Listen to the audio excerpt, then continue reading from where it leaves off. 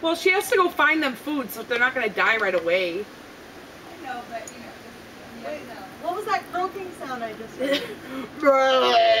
Dead baby bird. birds on my birthday. Oh Mike. Are you videoing?